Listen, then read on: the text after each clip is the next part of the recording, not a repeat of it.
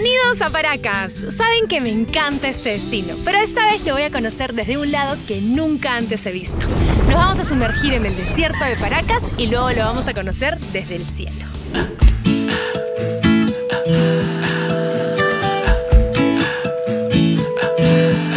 Pero este viaje no lo vamos a hacer solas. Tenemos dos invitadas de honor. ¡Ay, amiga! Ellas son las misias pero viajeras y seguramente las conocen, pero si no, Yo soy Fátima. Y yo soy Daniela. y van a estar grabando el detrás de cámaras de este viaje y les voy a dejar el link de ese video aquí abajo para que puedan verlo. Paso 1. ¿Cómo llegar? Si vienes en tu carro para acá, con la nueva carretera son dos horas, dos horas y media. Pero si vienen en bus, también hay opciones que vienen directo. Si vienes manejando, siempre es bueno que alguien de tu grupo también sepa manejar. Claro, yo manejo camión. Paso 2. ¿Dónde quedarse? Esta vez elegimos una opción diferente y realmente única. Glamping en medio del desierto de Paracas, donde solo estarás rodeado de dunas, pero en unas carpas muy cómodas, con comida deliciosa y además muy buena compañía. Adrena Arena tiene un campamento de película y completamente rodeado de arena. Las carpas son comodísimas y lindas. Y se nota que han pensado en cada detalle para que la experiencia sea mágica. Buenos días. Se tienen que levantar temprano para ver el amanecer en medio de las dunas. Aquí no tienes que preocuparte de nada, porque se encargan de la comida y del vino. Y si tienes algún pedido especial, no dudes en hacerlo, porque en Adrena Arena todo es personalizado. ¡Salud! No es noche. Paso 3. ¿Qué hacer?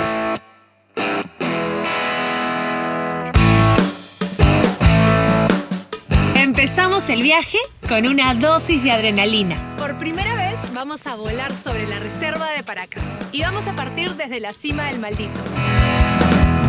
Paracas es aventura, tiene los vuelos más divertidos y seguros dentro de la reserva. ¡Lista! ¡Vamos a volar!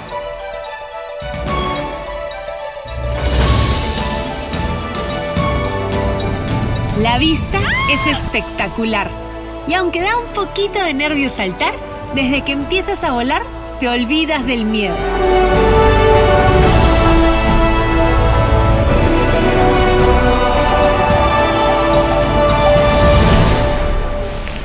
Recomendadísimo. Venga, vengan a volar. Con el capo de José de Paracas es aventura. Pero yo no fui la única que se lanzó. Amigos, parece que vamos a volar. ¿La haces? Yo sí.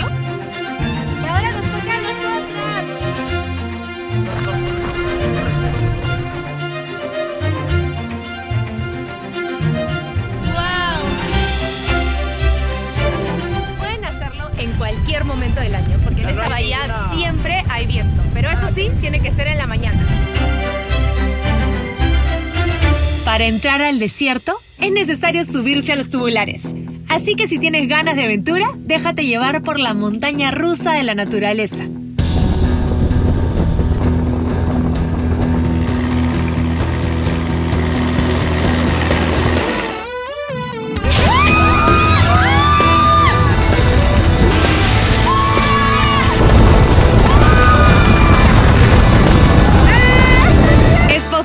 Comas un poco de arena en el camino, pero valdrá la pena la diversión.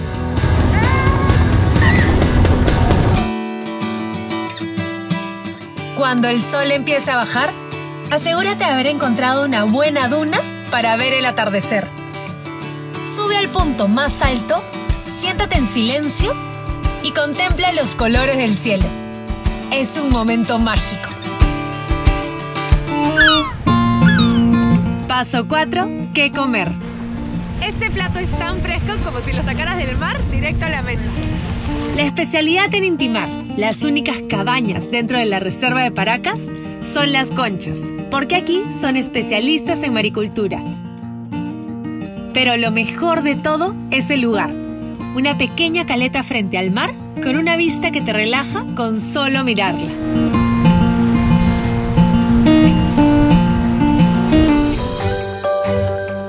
Paso 5. ¿Qué te llevas? Para Caracas es y seguirá siendo uno de mis lugares preferidos en el mundo. Nunca me imaginé que acampar en el desierto fuera una experiencia tan mágica y divertida, y espero poder repetirla muchas veces más. Recorremos el mundo en buena compañía, junto a Jeep y iShop.